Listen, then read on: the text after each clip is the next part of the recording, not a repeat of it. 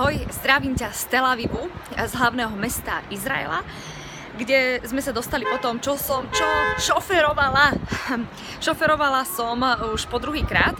Prvýkrát to bolo i hneď po prilete, prilete do Elátu a to som sa dozvedela vlastne na letisku, som si myslela, že o, tak dneska to bude tak na pohodičku, viem, že budem musieť šoferovať, ale tak to vie, kedy sa na to dostanem. No a, a moji zvyšní dvaja partiaci, ktorí mali uh, byť šoféry, tak povedali, že proste im býva zle v lietadle, či nevadí, že si proste dajú nejakého panáčika, aby im bolo lepšie. A ja som si povedala, že normálne to na mňa došlo také, že dobre, tak to odšoférujem. A proste musela som sa naučiť uh, uh, s automatom na aute, čo je troška iné pre mňa ako na manuáli, keď som bola na to naučená. A Druhá rovina bola, že hneď po prilete, po tom, čo človek spal asi 3,5 sekundy, bolo nutné i hneď sadnúť a šoferovať. Uh, asi 5 hodín v kúse, bolo to viac ako 350 km. Uh, aj s prestávkami že to bolo, ale uh, nebolo to možné uh, ani ísť dlho, pretože uh, sme išli cez takú púšť, kde boli klukaté cestičky a to bolo non-stop proste uh, brzda, plyn, brzda, plyn. A vnútorne som sa chvela. Priznávam. Úplne v bruchu, že keď som prebiehala potom na diálnici, pretože ja už to naozaj nechodím vám nejako často. Aj keď som aj jazdila na Slovensku, tak to uh, som chodievala uh, proste do vedľajšieho mesta, kde žiadna diálnica proste nebola, nie to nutné. A ja jednoducho uh, nemám túto skúsenosť v sebe, ale dala som to, bola som na seba veľmi hrdá a už som si myslela, že všetko mám za sebou, že v pohode, že už môžem proste šoferovať v klidku, že e, ako prešla som si tým, takže dobre.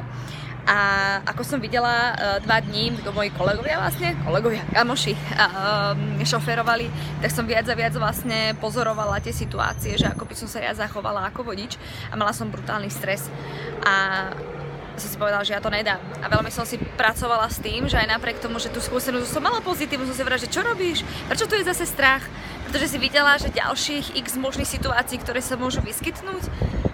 A teraz čo? Čomu slúžiš, Katarína? Slúžiš strachu alebo slúžiš slúžiš nejakému dobrému zámeru, slúžiš tomu, že si povedala, že budeš šoferovať, až si, že si v pohode vodič, že si sa teraz zlakla a ty dáš tomu priestor a sa na teba nemôžu spolahnúť, alebo čo? A to mi najviac pomáhalo. Dokonca sa nám stalo po tej ceste, že ak som si s tým pracovala, už som bola aj v pokoji, začalo pršať brutálne cez celý proste uh, Jeruzalem až ďalej až do Tel Avivu proste pršalo. A ešte sme nejakým spôsobom to nepozerali dobre, že nám to hodilo trasu cez Palestínu, čo vlastne sme vedeli, že auto, ktoré máme požičané, uh, tak platí poistenie iba v rámci Izraela a nie Palestíny. To znamená, že keby sa tam hoci čo stalo, tak to cvakáme my a máme nové auto. My sa to dozvedeli, keď ja som bola v polovici tej, uh, tej diálnice a ja, že čože? Ešte pol hodinu, keď sa dostaneme z Palestíny, to znamená dávaj sakra pozor na nás, ako v aute a na to auto, pretože sa bude spácať ďalších 30 rokov. Takže uh, obrovský akože strach mi začal zvierať žalúdok a potom si povedala opäť, dýchaj, dýchaj, je to možnosť, je to možnosť, strach ponúka to, že sa môžeme pozrieť za to a povedať si, čo nám to umožní. Je tam veľmi uh, nahromadená energia, ktorú môžeme sa na to pozrieť a, a vlastne vyhľadať aj tú situáciu, že áno, viem o nej, že mám strach, ale skúsim do toho ísť a povedať si, že či chcem slúžiť teda ešte raz tomu strachu a tomu, že na to nedám a nemám na to, alebo sa skúsiť pozrieť na, za tie poklady, uh, ktoré, na tie poklady, ktoré sú za tým.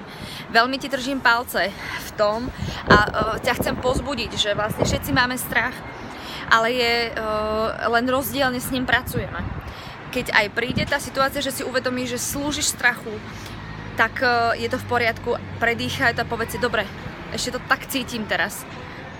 A keď sa ti bude dať, skús, skús o maličko posunúť. Skús sa pozrieť na to, že mohla by som slúžiť tej inej veci, ktorá mi prenesie, ktorú mi prinesie tá situácia bez strachu. Ja si myslím, že áno a môže si na mňa spomenúť, že moja skúsenosť vlastne s tým šoferovaním že uh, nikto mi negarantoval, že ja dojdem bezpečne. A napriek tomu som si povedala, že chcem sa spolahnúť na seba.